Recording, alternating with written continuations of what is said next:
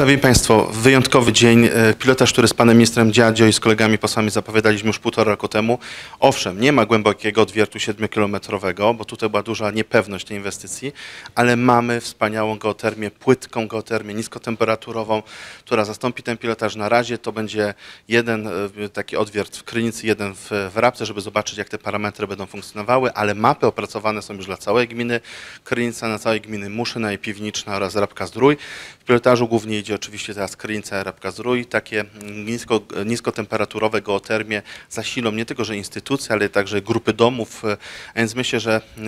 Państwo, mieszkańcy już niedługo będziecie mogli korzystać z tej technologii, która będzie finansowana, jak było dzisiaj zapowiedziane przez Pana Prezesa Artura Michalskiego z Narodowego Funduszu Ochrony e, Środowiska, będzie dotowane, będzie wspierane, a Krynica zasługuje na to, Krynica i w ogóle nasze uzdrowiska, jak Muszyna, Piwniczna, Rabka i nie tylko, na to, żeby właśnie wesprzeć ich tych technologią. Oczywiście później ta technologia będzie też stosowana do innych gmin, już nie tylko uzdrowiskowych, ale dziś trzeba było przećwiczyć, też chcemy, żeby były to polskie pompy ciepła, ten hub, o którym pan minister Piotr Dziadzie dzisiaj wspomniał, jest już zbudowany pod Krakowem, w Miękini, on się rozwija i myślę, że do 2024 roku będziemy mieć już opracowaną technologię, a tak jak było powiedziane, najtańszy rodzaj energii, niezależny od klimatu, od y, warunków pogodowych, który będzie zasilał państwa domostwa. To jest coś fenomenalnego, coś super i cieszę się, że mogę być jednym tak jakby współtwórców tej, tej koncepcji. Oczywiście głównym twórcą jest pan minister Piotr Dziadzio, ale wtedy na konferencji e, tak jakby zgodziliśmy się na to, współtworzyliśmy ten, ten pilotaż dla uzdrowisk e, i myślę, że to będzie służyło mieszkańcom naszego regionu.